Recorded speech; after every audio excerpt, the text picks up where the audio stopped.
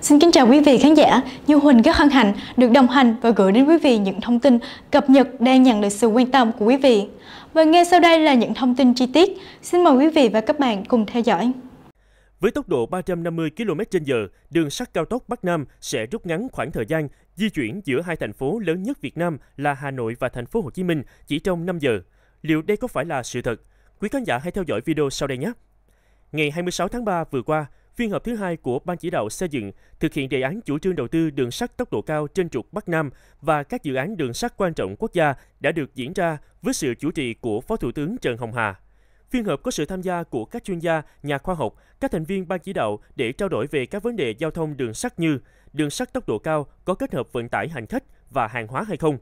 giải pháp công nghệ, tốc độ phù hợp và kinh nghiệm phát triển của các nước, lộ trình triển khai các đoạn tuyến ưu tiên.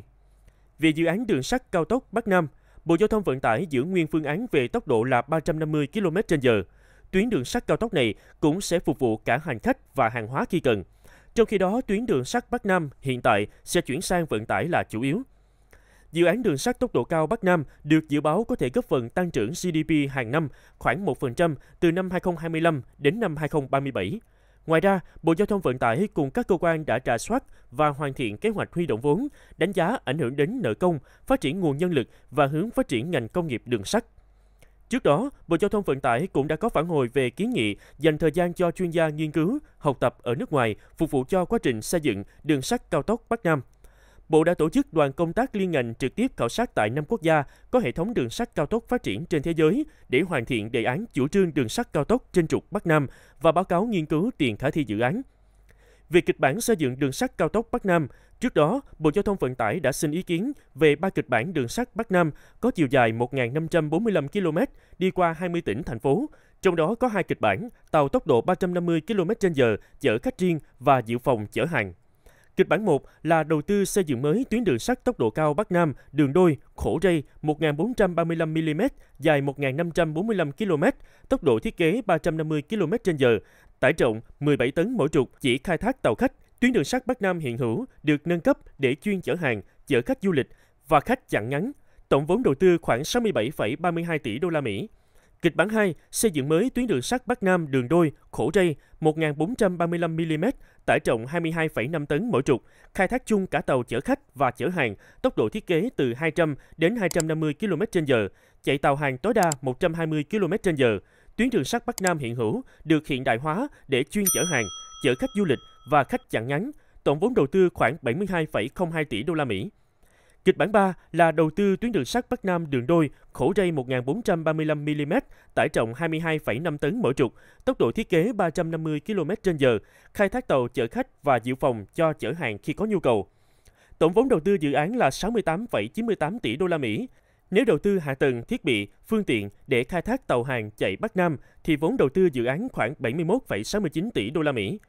Qua cuộc họp ngày 26 tháng 3, có thể thấy đến nay Bộ Giao thông Vận tải tập trung vào kịch bản 3.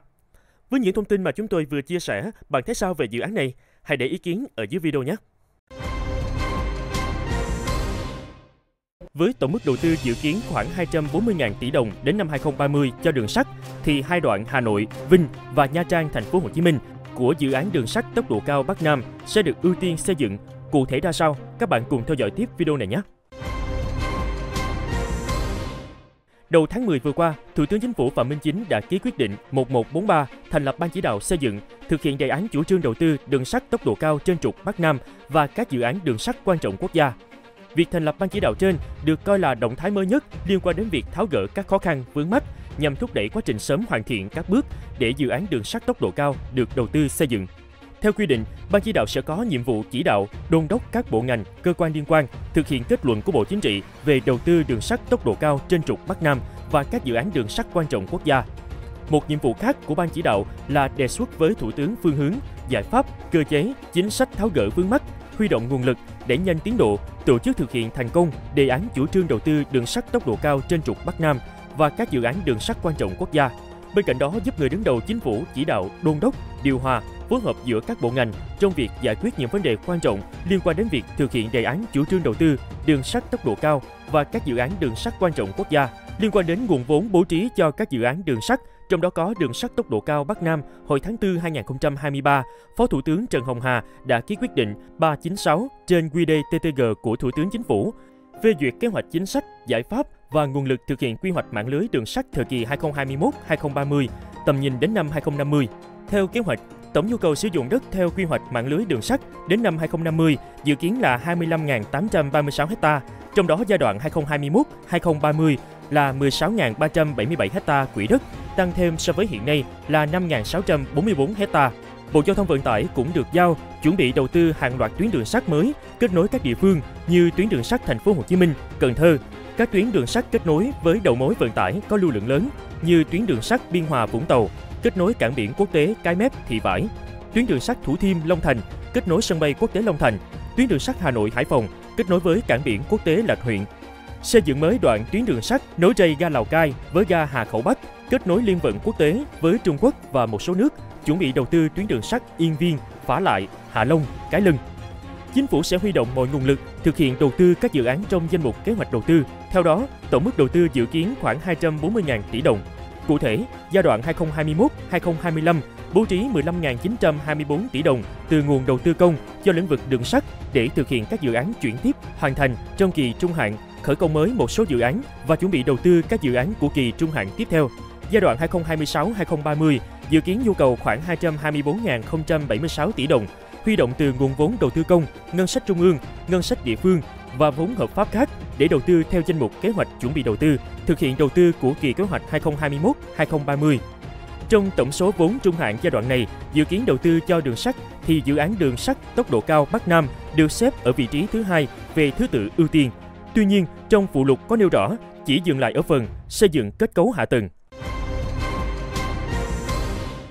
Tháng 8 2023, Bộ Giao thông Vận tải đã có báo cáo gửi Ban chỉ đạo các công trình, dự án quan trọng quốc gia, trọng điểm ngành giao thông vận tải, trong đó có tuyến đường sắt tốc độ cao Bắc Nam. Liên quan tới dự án đường sắt tốc độ cao Bắc Nam, Bộ Giao thông Vận tải cho hay, theo quy hoạch, từ nay tới năm 2030 sẽ triển khai đầu tư xây dựng hai đoạn ưu tiên của tuyến đường sắt tốc độ cao Bắc Nam, gồm đoạn Hà Nội, Vinh và Nha Trang, thành phố Hồ Chí Minh, hoàn thành toàn tuyến vào năm 2050. Trong báo cáo cuối kỳ dự thảo quy hoạch đường sắt thời kỳ 2021-2030, tầm nhìn 2050 được đưa ra, đơn vị tư vấn đã nêu các tính toán về phương án đầu tư. Cụ thể, đến năm 2030, hoàn thành giai đoạn chuẩn bị đầu tư và đầu tư các xây dựng các đoạn ưu tiên trên tuyến đường sắt tốc độ cao Hà Nội, Thành phố Hồ Chí Minh, đoạn Hà Nội Vinh và Thành phố Hồ Chí Minh Nha Trang. Đối với hai đoạn tuyến đường sắt tốc độ cao Hà Nội Vinh, Thành phố Hồ Chí Minh Nha Trang được ưu tiên đầu tư có tổng chiều dài là 651 km, vận tốc thiết kế là 350 km. Nếu được đưa vào hoạt động thì cả quãng đường trên sẽ rút ngắn thời gian chạy tàu xuống còn chưa đầy 2 tiếng. Đơn vị tư vấn cho rằng hai đoạn tuyến này có thể khai thác năm 2030 với quy mô vốn tới 561.000 tỷ đồng, tương đương 20 tỷ đô la Mỹ. Nếu nhu cầu vận tải cao hoặc năm 2032 với quy mô vốn 375.000 tỷ đồng, tương đương 15 tỷ đô la Mỹ nếu nhu cầu thấp. Giai đoạn 2 sẽ đầu tư đoạn Vinh, Nha Trang để nối thông toàn tuyến. Chiều dài toàn tuyến giai đoạn này là 894 km với tổng mức đầu tư dự kiến khoảng 33,9 tỷ đô la Mỹ, trong đó khoảng năm 2040 đưa vào khai thác đoạn Vinh Đà Nẵng, đến khoảng năm 2045, 2050 sẽ khai thác đoạn Đà Nẵng Nha Trang. Thời gian tới, Cà phê Lên TV sẽ triển khai nhiều video hấp dẫn về hỏi đáp từ hội viên, series kiến thức bất động sản, review khu vực hay dự án theo yêu cầu từ hội viên, tin nóng về hạ tầng. Những video này chỉ dành riêng cho hội viên của kênh Cà phê Lên TV. Trân trọng mời các bạn đăng ký trở thành hội viên ngay hôm nay để chúng tôi có động lực phát triển nhiều video hay và bổ ích hơn nữa.